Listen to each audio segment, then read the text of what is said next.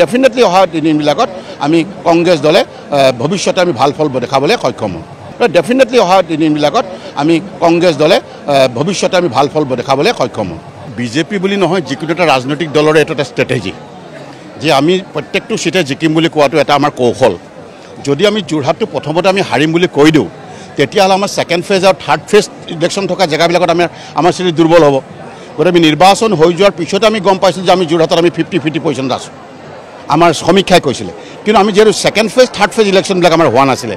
সেইকাৰণে আমি তাত জিকিম বুলি আমি দৃঢ়তা ক'ব লাগিব কাৰণ আমিতো বেলেগ বেলেগ সমষ্টিত আমি জিকিব লাগিব।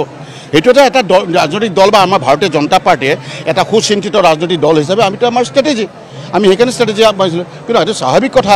কিন্তু আমি দহটা যে বা এঘাৰটা আমি কৈ আছিলোঁ যোৱা বছৰ আমি দহটা চিট আমাৰ এলায়েন্সে জিকিছিলোঁ এইবাৰ দহটা চিট জিকিছোঁ। গতিকে আমি আমাৰ স্থিতিত আমি ষ্টেণ্ড ঠিকেই আছোঁ। অন্য হাতে দেশখনত ভাৰতবৰ্ষত নৰেন্দ্ৰ মোদী ডাঙৰীয়া তৃতীয়বাৰলৈ তেখেতৰ যিখন প্ৰতিচ্ছবি সেই প্ৰতিচ্ছবিত প্ৰতিফলিত কৰি তেখেতৰ ভাৰতবৰ্ষৰ জনতাই পূৰণ নৰেন্দ্ৰ মোদী ডাঙৰীয়াক ইতিহাস ৰচি পেলাই থাৰ্ড টাইম প্ৰধানমন্ত্ৰী বনাবলৈ গৈছে।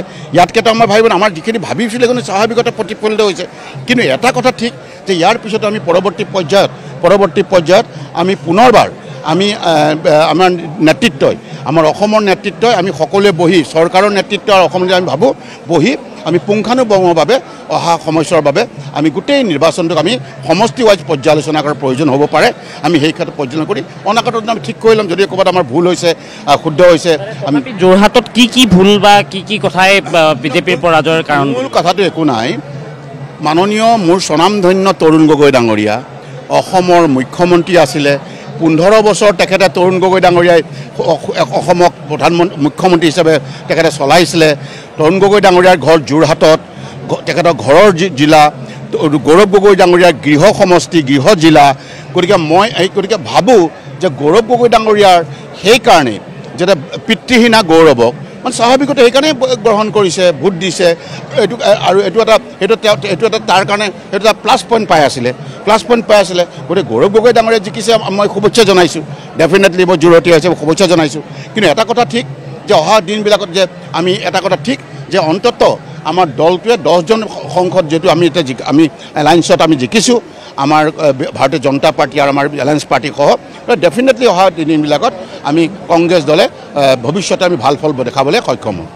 তথাপি যোৰহাটত ক'ৰবাত ক'ৰবাত এনেকুৱা কথাও হয় যে যিসকল নতুনকৈ আহিল তাৰ ভিতৰত আপোনাৰ কথাও কয় যে আপুনি অহাৰ ক্ষেত্ৰতো ক'ৰবাত কিবা প্ৰভাৱ পৰিছে?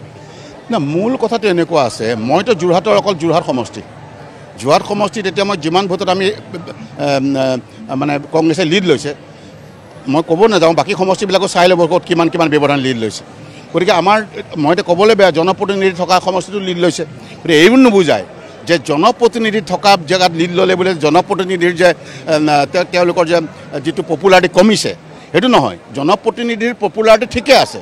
কিন্তু ক'ৰবাত নে ক'ৰবাত কিবা কাৰণত দেউতাকৰ চেণ্টিমেণ্টে হওক বা গৌৰৱ গগৈৰ নিজস্ব ম- ম- মনোভাৱেৰ কাৰণেই হওক বা নিজস্ব স্বভাৱৰ কাৰণেই হওক ক'ত নিশ্চয় ভোট পাইছে।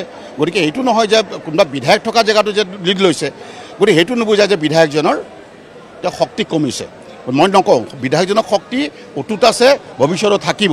কিন্তু তথাপিতো মই কৈছোঁ যে আমি বিশ্লেষণ কৰাৰ পৰ্যালোচনা কৰাৰ প্ৰয়োজন আছে। তথাপি আপুনি কি ভাবে? আপোনাৰ ক্ষেত্ৰত যে যোৰহাটৰ বাবে যোৰহাটৰ পৰাজয়ৰ বাবে নৈতিক দায়িত্ব কোনে স্বীকাৰ কৰিব? নহয় নৈতিক দায়িত্ব স্বীকাৰ কৰাৰ প্ৰশ্নই নুঠে। তাততো নৈতিক দায়িত্ব স্বীকাৰ কৰাৰ প্ৰশ্ন নুঠে নিৰ্বাচনত জিকা হৰাটো আছেই। আজি অল ইণ্ডিয়া লেভেলত ভাল ভাল প্ৰত্যেকটো ৰাজনীতি দলৰ অতি মুধাপুটা লিডাৰ হাৰি গৈছে। এইটো এইবাৰে নহয়। প্ৰায়বিলাক নিৰ্বাচনতে হয়। আগতে বহু প্ৰাক্তন মুখ্যমন্ত্ৰী হাৰি গৈছে। প্ৰাক্তন প্ৰধানমন্ত্ৰী হাৰি গৈছে। ডাঙৰ ডাঙৰ মুধাপুটা নেতা হাৰি গৈছে। গতিকে নিৰ্বাচনত জয় পৰাজয় আছে। নিৰ্বাচনত যদি জয় পৰাজয় নাথাকে তেতিয়াহ'লে নিৰ্বাচন মিনিংলেছ নিৰ্বাচন কাক কয়? সেইটোৱে কয়। গতিকে আজিৰ তাৰিখত আপুনি এক্সিট পোলেও দেখোন ফেইল মাৰি দিছে। গতিকে এক্সিট পোলে যেতিয়া ফেইল মাৰিছে গতিকে আল্টিমেটলি তাৰমানে নিৰ্বাচনটো এনেকুৱা বস্তু যে হয়তো পানীৰ তলৰ কাঁইট। গতিকে গতিকে সেইকাৰণে মই কওঁ যে এইটো কোনো ডাঙৰ কথা নহয়। আমি গৌৰৱান্বিত যে দহখন আসন আমি অটুট ৰাখিবৰ কাৰণে সক্ষম হ'লোঁ। নৰেন্দ্ৰ মোদী ডাঙৰীয়া প্ৰধানমন্ত্ৰী ৰূপে পুনৰ চাবৰ কাৰণে আমি আমি ভাগ্যৱান ৰূপে আমি জীয়াই থাকিলোঁ। সেইটোৱে আমাৰ কাৰণে ধন্যবাদ। আৰু ভাৰতবাসী আৰু অসমবাসীক আপোনালোকৰ চেনেলৰ যোগেদি আমি ধন্যবাদ জনাইছোঁ।